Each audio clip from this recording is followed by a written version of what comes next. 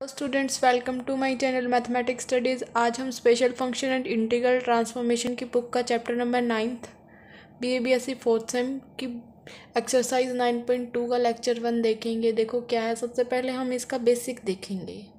इसके अंदर जो एक्सरसाइज है, उसके अंदर हमें मेन है ना, कुछ रिडक्शन फार्मूलाज का यूज़ करना है। तो वो देखिए, हमारे रिडक्शन फार्मूला क्या होंगे। देखो क्या है। ई e की इंटीग्रेशन ई की power E X sine B X plus C D X अगर हमारा इस टाइप की कोई इक्वेशन है तो देखो क्या है। अगर इस टाइप की इक्वेशन होती है हमारी तो इसको हम नॉर्मल ऐसे फ़र्स्ट मान के सेकंड मान के इसका बाई पार्ट्स नहीं कर सकते। क्यों? क्योंकि आगे आगे सॉल्व होता चला जाएगा। तो इस प्रॉब्लम का ये सोल्यूशन है कि हमें कुछ रिडक्शन फार्मूलाज गिवन होते हैं, उनकी हेल्प से हम इनको सोल्व कर सकते हैं। तो वो क्या होगा? ई e की power A X sine B X plus C D X का जो उसका इंटीग्रेशन है, उसको हम कैसे लिख सकते हैं? वो इसके इक्वल होगा।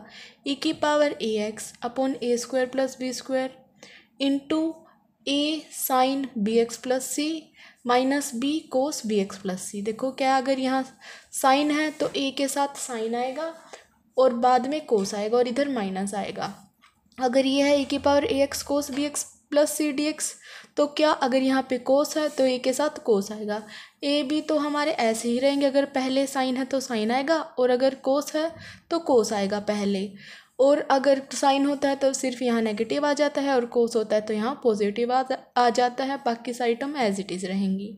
अब ऐसे भी हो सकता है कि यहाँ पे लिमिट दे दे कोई, जैसे ज़ीरो टू इन्फिनिटी तो ऐसे कर देंगे हम होल पावर मतलब होल ज़ीरो टू इन्फिनिटी वही अपर लिमिट पुट कर देंगे माइनस लोअर लिमिट कर देंगे।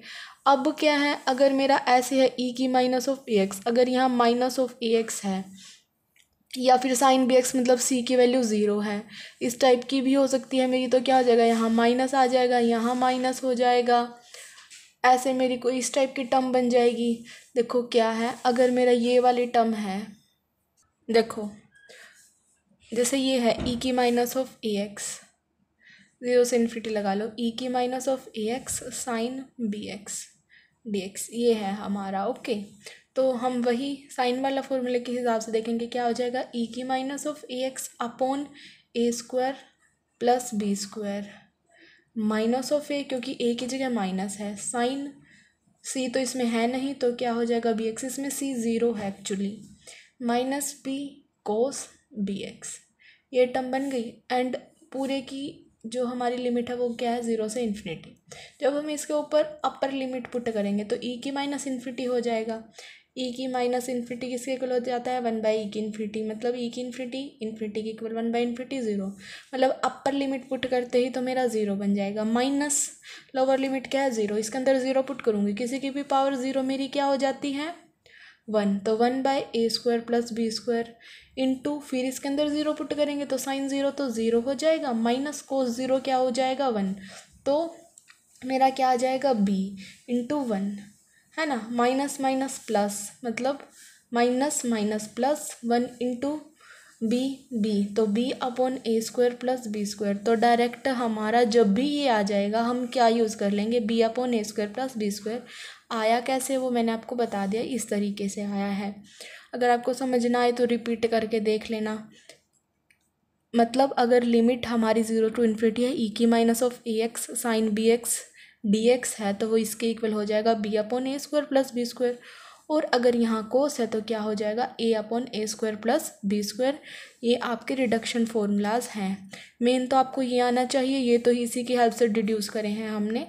ये मैंने नाइन पॉइंट वन के लेक्चर वन में भी आपको बता दिया था कि फोरियर ट्रांसफॉर्मेशन ऑफ़ साइन क्या होती है हमारी ज़ीरो से infinity sine S T F T D T और कोसाइन की क्या होती है zero to infinity, cos S T F T D T. ये हमारा जो ये अब आज वाली एक्सरसाइज है, उसमें साइन और कोसाइन की फोरियर ट्रांसफॉर्मेशन के बारे में पढ़ेंगे। जैसे हमने नाइन पॉइंट वन में सिंपल फोरियर ट्रांसफॉर्मेशन के बारे में पढ़ा था, इस एक्सरसाइज में हम साइन और कोसाइन की फोरियर ट्रांसफॉर्मेशन के बारे में पढ़ेंगे। नेक्स्ट में हम इनके इन्वर्स पढ़ेंगे, ओके? तो देखिए, स्टार्ट करते हैं। देखिए क्वेश्चन फ़र्स्ट क्या है? Find the sine and cosine Fourier transform of this हमें साइन और कोसाइन ट्रांसफॉर्म निकालने हैं इस वाली इक्वेशन की। सोल्यूशन देखिए, ये हमने क्या मान लिया? एफ़ एक्स क्योंकि हमें इसी की निकालनी है साइन और cosine transform four Fourier transform तो हमने एफ़ एक्स ले लिया। पहले हम साइन की फोर फोरियर ट्रांसफॉर्म निकाल रहे हैं तो हमने लिख लिया four Fourier transformation of sine is equal to किसके इक्वल होता है? Zero to infinity F X sine S X D X इसके इक्वल होता है।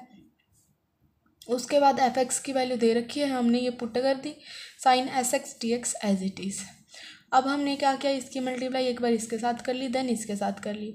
टू कांस्टेंट था, बाहर रख लिया ज़ीरो टू इन्फिनिटी ई की minus five X sine S X D X plus five zero से इन्फिनिटी ई की minus two X sine S X D X अब जो मैंने आपको स्टार्टिंग में रिडक्शन फॉर्मूला करवाए थे, बिल्कुल उसी का यूज़ करना है हमें, देखो क्या होगा। अभी मैंने आपको बताया था कि अगर e की माइनस ई की power minus a x zero से इन्फिनिटी लिमिट हो और साइन बी एक्स था, वहाँ पे यहाँ एस एक्स है बी की वैल्यू मतलब यहाँ आप लगा लो, ये बी ही लगा लो ओके अगर आपकी इस टाइप की टर्म थी तो वहाँ क्या आ गया था हमारा?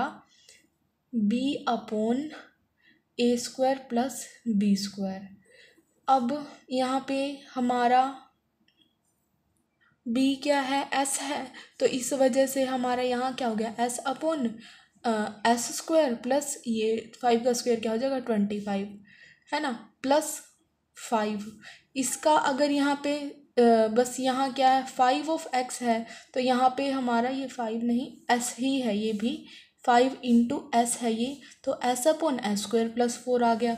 तो हमें ये रिडक्शन फॉर्मूला अप्लाई करने आने चाहिए, बस और कुछ नहीं है। फिर हमने इसमें से एस कॉमन ले लिया तो क्या आ गया? Two upon twenty five plus s square plus five upon s square plus four. Reduction formula apply किया, अगर इस टाइप की टर्म हो तो हमारा क्या आ गया था? B upon a square plus s square अगर यहाँ कोस था तो वहाँ आ गया था a upon a square plus b square okay अब देखो ये तो हमने क्या निकाली? साइन ट्रांसफॉर्म निकाल ली। अब हमें क्या भी निकालनी है? कोसाइन ट्रांसफॉर्म भी निकालनी है तो देखो क्या होगा? फोरियर ट्रांसफॉर्मेशन कोसाइन के लिए। ज़ीरो से infinity limit f x cos s x d x zero से इन्फिनिटी लिमिट एफ़ एक्स की हमने वैल्यू पुट कर दी। Cos s x d x ये आ गया हमारा। अब हम इसकी मल्टीप्लाई एक बार इसके साथ करेंगे देन इसके साथ करेंगे। टू ज़ीरो से इन्फिनिटी लिमिट ई की minus five x cos s x d x plus five zero से इन्फिनिटी लिमिट ई की power minus two x cos s x d x ये दो टर्म आ गई। अब यहाँ पे क्या है मेरा? कोस एस एक्स है। अभी देखो, मेरा इस टाइप का हो ज़ीरो टू इन्फिनिटी ई की minus e x cos of b x d x अगर कोस होता था तो मेरा ऊपर क्या आता था? A upon a square plus b square अब यहाँ पे मेरी ए की वैल्यू क्या है? फाइव तो फाइव अपॉन फाइव का स्क्वायर मतलब twenty five plus b square मतलब एस स्क्वायर। तो मेरी ये वाली टर्म आ गई। प्लस फाइव, सिमिलर यहाँ पे क्या हो जाएगा? टू अपॉन टू स्क्वायर मतलब four plus s square. Five two जा टेन, फाइव टू जा टेन। टेन हमने कॉमन ले लिया, one upon twenty five plus s square plus one upon four plus s square. And this is our required solution हमने पहले sine की Fourier transformation निकाली then cosine की Fourier transformation निकाली। आपको बस रिडक्शन फॉर्मूला आने चाहिए। डायरेक्ट उन्हीं का यूज़ करके हमने ये वैल्यूज़ को कर दिया है पुट अब देखो नेक्स्ट क्वेश्चन क्या है हमारा? जो हमने फ़र्स्ट क्वेश्चन किया, उस टाइप के एक्सरसाइज में कुछ क्वेश्चंस हैं, वो भी आप ट्राई कर लीजिएगा। कंपलसरी क्वेश्चंस के लिए वो इम्पोर्टेंट है हमारे। अब नेक्स्ट क्वेश्चन देखिए, ये थोड़ा सा अलग टाइप का क्वेश्चन है और जो इससे नेक्स्ट करेंगे हम, वो इसी टाइप का क्वेश्चन होगा। मतलब ये दोनों क्वेश्चन हमारे थोड़े सिमिलर टाइप के होंगे। तो देखिए क्या है find the Fourier sine transform of इसकी जो फ़ंक्शन दे रखा है हमें, इसकी हमें साइन की फोरियर ट्रांसफॉर्मेशन निकालनी है। ओके तो ये हमारा क्या है? एफ़ एक्स तो हमने अपने एफ़ एक्स की वैल्यू लिख ली, वो क्या है? ई e की power minus of a x upon x ये हमें एफ़ एक्स गिवन है। उसके बाद हमें निकालना क्या है? फोर ईयर की साइन ट्रांसफॉर्मेशन निकालनी है। तो वो किसके इक्वल होती है? ज़ीरो से इन्फिनिटी जो भी हमें फ़ंक्शन दे रखा हो f x sine s x d x और एफ़ एक्स की वैल्यू क्या है? ये है। अब देखो, इसका नॉर्मल अगर हम इंटीग्रेशन करें तो भी हमारा सॉल्व नहीं होगा। और इसके ऊपर तो रिडक्शन फॉर्मूला भी नहीं लग सकता। क्यों? क्योंकि इसके बाई में तो एक्स है। तो इसके ऊपर हम रिडक्शन फॉर्मूला भी अप्लाई नहीं कर पा रहे हैं। तो हम क्या करेंगे इसमें?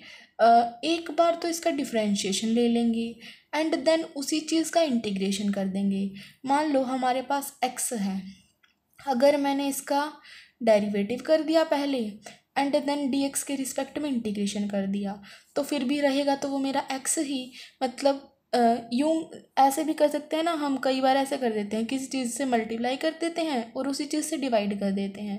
ये बोल देते हैं कि टू से मल्टीप्लाई कर दो एंड टू से डिवाइड कर दो।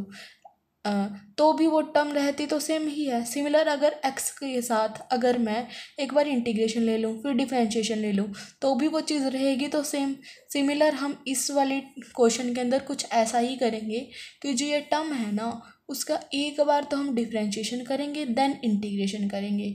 तब जो वो मेरी नेक्स्ट टर्म आएगी, उसको इसके साथ कंपेयर कर देंगे एंड हमारा सोल्यूशन आ जाएगा, क्योंकि हमें इसकी वैल्यू चाहिए और इसका डायरेक्ट हमें इंटीग्रेशन सोल्व नहीं करना आ रहा है, इस वजह से हम लेबनीज़ रूल का यूज़ करेंगे। अब ये लेबनीज़ रूल क्या है? ये रूल हम वहाँ पे यूज़ कर सकते हैं।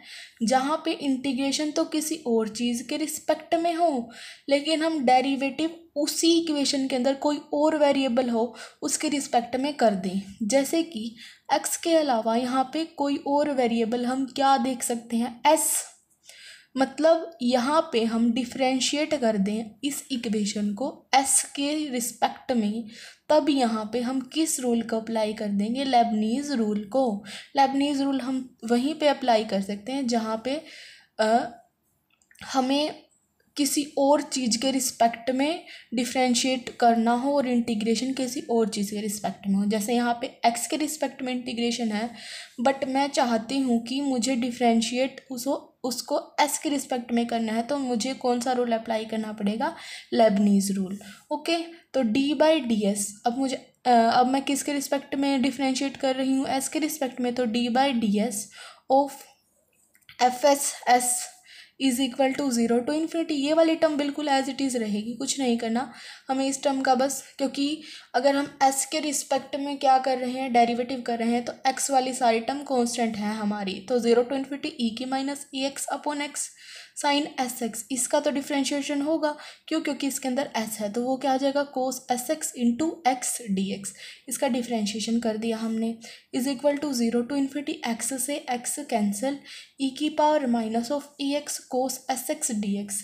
अब इसका हमें क्या पता है? रिडक्शन फॉर्मूला पता है। अभी हमने पढ़ा था कि ई की power minus of a x cos s x हो तो हमारा क्या हो जाता है? A upon a square plus ये जहाँ, जो भी इधर होगा, वो बी था तो बी स्क्वेयर हो गया था, यहाँ ऐसा तो एस स्क्वायर हो जाएगा। तो हमारी ये वाली टर्म आ गई। अब मैंने बताया था, इस, पहले हम क्या करेंगे? डेरिवेटिव करेंगे देन हम उसी चीज़ के रिस्पेक्ट में क्या कर देंगे? इंटीग्रेशन अब मैंने डेरिवेटिव तो कर दिया, अब हम करेंगे इसका इंटीग्रेशन जब हम इसका इंटीग्रेशन करेंगे तो हमारा डेरिवेटिव से इंटीग्रेशन कैंसिल हो जाता है, ये हमें पता है। तो हमारा क्या आ गया? F s s is equal to इसका जब हम इंटीग्रेशन करेंगे तो वो क्या बन जाएगा? A into one by a square plus s square का अगर हम इसका इंटीग्रेशन करते हैं तो हमारा क्या हो जाएगा? इंटीग्रेशन करो।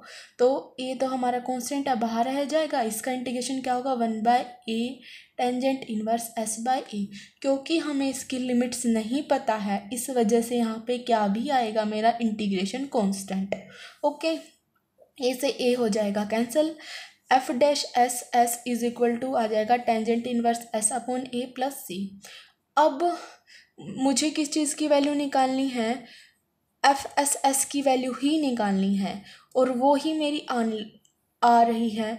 बट एक चीज़ है कि ये सी की वैल्यू क्या होगी? अब इस सी की वैल्यू को हम निकालेंगे। इस वैल्यू को निकालने के लिए हमें किस चीज़ की वैल्यू चाहिएगी चाहिएगी? एस की वैल्यू चाहिएगी। तो हम अपनी मर्ज़ी से एस की कोई भी सुटेबल वैल्यू को ले लेंगे। और वो वैल्यू हम हमेशा ज़ीरो ही लेंगे। इस एक्सरसाइज के काफ़ी सारे क्वेश्चन जिनमें हमें एस की वैल्यू को यूज़ करना है और वहाँ पे हम हमेशा एस की वैल्यू ज़ीरो ही पुट करेंगे। तो हमने क्या किया? सी की वैल्यू को निकालने के लिए एस को ज़ीरो रख दिया अपनी मर्ज़ी से। Put s is equal to zero अगर हम एस को ज़ीरो पुट कर देंगे तो टेंजेंट इनवर्स ज़ीरो क्या हो जाएगा? ज़ीरो तो ये वैल्यू हमारी किसके इक्वल आ जाएगी? ज़ीरो के। टेंजेंट इनवर्स ज़ीरो क्या हो जाएगा? ज़ीरो तो F dash S S is equal to आ जाएगा ज़ीरो प्लस सी मतलब एफ़ डैश एस किसके इक्वल आ जाएगा? सी के इक्वल आ जाएगा। है ना? ऑल्सो हमारे पास एक और इक्वेशन है फ़र्स्ट अगर हम इसके अंदर भी क्या पुट कर दें? एस की जगह ज़ीरो पुट कर दें तो यहाँ ज़ीरो पुट कर दिया तो साइन ज़ीरो क्या होता है? ज़ीरो होता है। तो यहाँ से हमारी एफ़ एस एस की वैल्यू क्या आ गई? ज़ीरो आ गई। यहाँ से वैल्यू ज़ीरो आ गई। अगर हम ये वैल्यू इसके अंदर पुट कर दें तो क्या हो जाएगा? Zero is equal to zero plus C मतलब सी की वैल्यू मेरी क्या आ गई? ज़ीरो आ गई। अब हमें सी की वैल्यू ही तो निकालनी थी। सी की वैल्यू अब निकालनी थी, वो क्या आ गई? मेरी ज़ीरो आ गई। तो यहाँ पे हम ज़ीरो पुट कर देंगे और ये वैल्यू मेरी इसके इक्वल आ गई थी और यही तो मुझे निकालना था। तो वो क्या आ गया? मेरा tangent inverse s by a क्योंकि हमें ये सीधा सोल्व करना नहीं आ रहा था, इस वजह से हमने लेबनीज रूल की हेल्प से इसका पहले डिफ्रेंशिएशन किया देन उसी टर्म का इंटीग्रेशन किया, फिर हमारा एक सोल्यूशन आ गया, फिर हमारा एक कांस्टेंट भी आ गया था एक्स्ट्रा हमने उसकी वैल्यू निकाली, इसके अंदर पुट कर दी और जो सोल्यूशन आया वो हमारा क्या हो गया? आंसर अब हम करते हैं नेक्स्ट क्वेश्चन इसी टाइप का है, ये भी थोड़ा थोड़ा उसमें हमें क्या निकालनी थी? साइन ट्रांसफॉर्म और अब इस क्वेश्चन में हमें क्या निकालना है? कोसाइन ट्रांसफॉर्म देखो, क्वेश्चन करते हैं start find the Fourier cosine transform of this इसकी हमें फोरियर कोसाइन ट्रांसफॉर्म निकालनी है। तो ये हमारा क्या हुआ फ़ंक्शन मतलब एफ़ ऑफ़ एक्स तो एफ़ ऑफ़ एक्स हमने अपना लिख लिया, वो क्या? ई e की पावर माइनस एक्स स्क्वायर हमें क्या निकालनी है? कोसाइन ट्रांसफॉर्म मतलब एफ़ सी बार एस मतलब फो Fourier cosine transform of f x. Okay, वो हमारी किसके इक्वल होगी? देखो, हमारी फोर फोरियर कोसाइन ट्रांसफॉर्म किसके इक्वल होगी? ज़ीरो टू इन्फिनिटी ई की माई f x cos s x d x की। और एफ़ एक्स मेरा क्या है? ई e की power minus of x square cos s x d x और ये हमने लेट कर लिया कि ये मेरा आई है ओके तो I is equal to this ये मतलब हमारी जो फोरियर ट्रांसफॉर्मेशन ऑफ़ कोसाइन की फोरियर ट्रांसफॉर्मेशन हमारी ये होती है एफ़ एक्स की वैल्यू हमने इसके अंदर पुट कर दी, और जो ये बड़ी सी टर्म आई है ना तो हमने मान लिया कि ये जो है, हमने वो एस नाम दे दिया उसको सिंपल सा एक नाम दे दिया, वो है सॉरी, हमने उसको सिंपल सा एक नाम दे दिया, आई। तो हमने इस वाले टर्म को आई के इक्वल लिख दिया कि आई जो हमारी ये टर्म है ना, वो आई है। अब हमें क्या करना है? इसका हमें डायरेक्ट इंटीग्रेशन सॉल्व करना तो आता नहीं अब ये मत कहना कि आप रिडक्शन फॉर्मूला अप्लाई कर सकते हैं। यहाँ एक्स का स्क्वायर है और रिडक्शन फॉर्मूला हम तब अप्लाई कर सकते हैं, तब यहाँ सिंपल एक्स हो। एक्स का स्क्वायर है, क्यूब है तो अब हम रिडक्शन फॉर्मूला अप्लाई नहीं कर सकते हैं। तो हमें इसका नहीं आ रहा है। अब समझ में इंटीग्रेशन कैसे सॉल्व करें? तो हम क्या करेंगे? पहले इसका डेरिवेटिव करेंगे, देन उसका इंटीग्रेशन करेंगे, जो हमारी टर्म आएगी, उससे हम हमारा सोल्यूशन निकालने की कोशिश करेंगे। अब क्योंकि हमें पता है इसका इंटीग्रेशन एक्स के रिस्पेक्ट में है और हमें डेरिवेटिव एस के रिस्पेक्ट में करना है तो हम लेबनीज़ मतलब एल रूल का यूज़ करेंगे। लेबनीज़ रूल को डायरेक्ट मैं एल से रिप्रेजेंट कर रही हूँ तो ये एल रूल का हम यहाँ पे यूज़ कर लेंगे। तो हमें क्या करना है? एस के रिस्पेक्ट में डेरीवेटिव करना है तो d I upon d d s किसके इक्वल हो गया? ज़ीरो से इन्फिनिटी लिमिट माइनस बताती हूँ ये ई की minus of x square cos s x का डेरिवेटिव क्या होगा? Sine s x into x होगा कोस का minus of sine s x into x होगा। जो ये माइनस आया था, ये हमने ऑलरेडी यहाँ लिख दिया sine s x into x d x अब मेरी ये वाली टर्म आ गई है। अब हम इसको करेंगे सोल्व देखो क्या हुआ। ज़ीरो से infinity limit minus of x e की minus x square sine s x d x फिर मैंने क्या किया? टू के साथ मल्टीप्लाई कर दिया टू के साथ डिवाइड कर दिया। ये मैंने क्यों किया है? अभी बताती हूँ। देखो। 嗯。क्या है? ये फ़र्स्ट टर्म अभी यहाँ इंटीग्रेशन है तो हम बाई पार्ट्स लगाएँगे, इसको पूरा सॉल्व करेंगे ना अब। तो first function as it is second का इंटीग्रेशन देखो, जब मैं इसका इंटीग्रेशन करूँगी तो मेरा क्या आएगा? ई के minus of x square upon minus of two x यहाँ पर मेरा एक्स था तो मैंने माइन टू से मल्टीप्लाई कर दिया टू से डिवाइड कर दिया, ताकि जब भी मेरा बाई में माइनस ऑफ़ टू एक्स आए तो ये कैंसिल हो जाए डायरेक्ट मेरा ये, यही आ जाए, जो भी मेरा ये बन रहा है। तो इस वजह से मैंने यहाँ पे टू से मल्टीप्लाई डिवाइड कर दिया तो first function as it is जब मैंने इसका इंटीग्रेशन किया तो इससे कैंसिल हो गया। माइनस इंटीग्रेशन का निशान फ़र्स्ट का डिफ्रेंशिएशन जब हम इसका डेरिवेटिव करेंगे तो साइन एस एक्स का डेरिवेटिव क्या हो जाएगा? Cos s x into s इसका इंटीग्रेशन जो कि इसके साथ कैंसिल हो गया तो क्या गया? ई के minus of x square d x limit zero से इन्फिनिटी तक। और ये वन बाई टू बाहर as it is one by two sine s x this as it is minus s बाहर एज कॉमन हमने रख लिया क्योंकि एस क्या है? कॉन्स्टेंट है। फिर कोस एस एक्स ई के minus of x square d x अब ज़ीरो से इन्फिनिटी लिमिट अब देखो ध्यान से कि हमारी, जब हम इसके अंदर लिमिट्स को पुट करेंगे तो देखो, लिमिट को पुट किया मैंने, ध्यान से देखना कि अगर मैं इसके अंदर इन्फिनिटी पुट करूँ तो साइन इन्फिनिटी की कोई ना कोई फाइनाइट वैल्यू हो गई बट मुझे वैल्यू का नहीं पता, लेकिन ई e के अंदर जब मैं ई e की माइनस ऑफ़ इन्फिनिटी करूँगी तो वो वाली टर्म तो मेरी ज़ीरो के इक्वल हो जाती है तो मेरी ये वाली टर्म ज़ीरो हो गई, और जब मैं इसके अंदर ज़ीरो पुट करूँगी तो साइन ज़ीरो ज़ीरो हो जाता है तो मेरी ये वाली टर्म भी ज़ीरो हो गई, लेकिन जब हम इसके अंदर पुट करेंगे तो मतलब मेरी लिमिट क्या बचेगी? One by two minus of s, zero से infinity. Cos s x e की minus of x square d x मेरी ये टर्म बच गई तो मैंने इसको ऐसे लिख दिया minus of s by two cos s x e की minus x square d x अब आपको ये पता चल गया होगा कि ये टर्म कहाँ गई, ये टर्म ज़ीरो बन गई। जब मैंने इसके अंदर इन्फिनिटी पुट किया तो भी ज़ीरो आया। ज़ीरो पुट किया तो भी ज़ीरो आया। तो ये टर्म मेरी ज़ीरो बन गई एंड ये वाली टर्म मेरी ऐसे आ गई। अब देखो, ये मेरी जो टर्म है स्टार्टिंग में मैं लेके चली थी कि जो ये टर्म है, मैंने आई मान ली थी। इधर भी मैंने आई लिख लिया।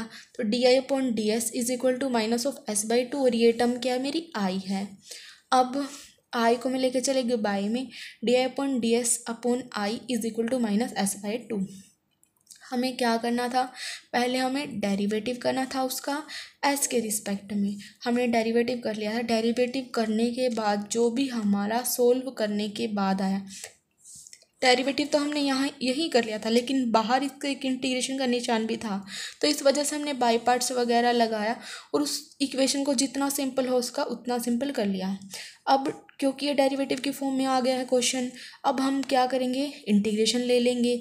जब हम इंटीग्रेशन लेंगे तो देखो क्या है, जब नीचे वाले का डिफ्रेंशिएशन ऊपर होता है तो हमारा, उसका आंसर क्या हो जाता है? लॉग ऑफ़ नीचे वाली टर्म तो यहाँ क्या गया log of I is equal to minus of s जब हम इसका क्या करेंगे इंटीग्रेशन करेंगे तो क्या आ जाएगा माइनस वन बाई टू बाहर इंटीग्रेशन एस इस टाइप से आ जाएगा, और किसके रिस्पेक्ट में डी एस के रिस्पेक्ट में तो डी एस आ गया। तो क्या हो जाएगा minus one by two s square upon two plus c हो जाएगा इंटीग्रेशन कॉन्स्टेंट तो वैल्यू आ गई minus of s square upon four plus c ये वाली टर्म मेरी आ गई। अब हमें क्या करना होता है? सी की वैल्यू निकालनी होती है, जो कांस्टेंट आया है, उसकी वैल्यू तो सी की वैल्यू निकालेंगे। उससे पहले हम इस इक्वेशन को थोड़ा और सिंप्लीफाई कर सकते हैं। कैसे हो जाएगा? Log I minus of log c is equal to minus I square plus by four ये log m minus log n क्या हो जाता? है लॉग एम बाई एन मतलब log of I by c is equal to minus of s square by four हमारी ये वाली term आ गई है। उसके बाद अगर हम दोनों साइड एक्सपोनेंशियल ले लेंगे मतलब एंटी लॉग ले लेंगे तो लॉग से एंटी लॉग कैंसिल तो आई आप ये लगाओ, क्या आ जाएगा हमारा? I by c is equal to e की power minus of s square by four then जो सी है, वो भी उस साइड चला जाएगा तो क्या आएगा? सी ई की power minus of s square by four अब मुझे क्या निकालना है? बस एक एक्स्ट्रा टर्म मुझे दिखाई दे रही है क्वेश्चन के अंदर, ये सी क्या है? इस सी को निकालने के लिए हम अपनी तरफ़ से की कोई भी स्टेबल वैल्यू ले लेते हैं और वो हम हमेशा क्या ही लेते हैं? ज़ीरो लेते हैं क्योंकि वो ईजी रहती है। तो एस की वैल्यू ज़ीरो है। हम एक बार तो इस इक्वेशन के अंदर ही पुट करेंगे, एक बार जो हमारी फ़र्स्ट इक्वेशन थी उसके अंदर पुट करेंगे। वहाँ से हमें सी की वैल्यू मिल जाएगी। जब हमने इस इक्वेशन के अंदर एस की वैल्यू ज़ीरो पुट करी तो हमारा क्या आया? I is equal to c और किसी की भी पावर ज़ीरो वन तो मतलब जो सी है, मेरा किसके इक्वल आ गया? आई के इक्वल आ गया इस इक्वेशन से। और जब हम इक्वेशन नंबर वन के अंदर इसको पुट करेंगे इक्वेशन नंबर वन के अंदर हम इसको पुट करेंगे इक्वेशन नंबर में वन मेरी क्या है? ये है। जब हम इसके अंदर ज़ीरो पुट करेंगे sine zero cos zero cos zero हमारा क्या होता है? वन तो हमारी ये वाली टर्म क्या बन जाएगी? I is equal to zero to infinity e की minus x square d x तो हमारी ये वाली टर्म बन जाएगी। और जो ये हमारी टर्म होती है वो किसके इक्वल होती है? रूट पाई बाई टू ये आपको याद रखना है। ओके अब एक तो जब हमने कंपेयर करी सेकंड इक्वेशन के अंदर, इसके अंदर पुट किया तो हमारा क्या है? I is equal to c तो फ़र्स्ट इक्वेशन के अंदर पुट किया तो क्या है? I is equal to under root pi by two अब ये भी आई की वैल्यू है, ये भी आई की वैल्यू होता है हम इन दो, अगर हम आई की वैल्यू को कंपेयर कर दे तो यहाँ से सी की वैल्यू क्या आ गई? Under root pi by two आ गई। और हमें सी की वैल्यू ही तो चाहिए थी। हम इस इक्वेशन के अंदर सी की वैल्यू पुट कर देंगे तो I is equal to under root pi by two e की power minus of s square by four ये आ गया हमारा सोल्यूशन और यही हमें चाहिए था। अब जब ये आप अगर कोई क्वेश्चन समझ ना आ रहा हो कोई डाउट हो तो आप कमेंट में बता देना और ये आप रिपीट करके देखना। क्वेश्चन आपके इम्पोर्टेंट है दोनों ही। फ़र्स्ट जो क्वेश्चन किया था हाँ, आपने वो आपका कंपलसरी के लिए इम्पोर्टेंट था। और आगे भी जो क्वेश्चन है इस एक्सरसाइज के वो इम्पोर्टेंट है काफ़ी इंपॉर्टेंट एक्सरसाइज है यहाँ आपकी तो आप बिल्कुल अच्छे से करना। Thank you guys for watching my video please you like share and subscribe to my channel thank you so much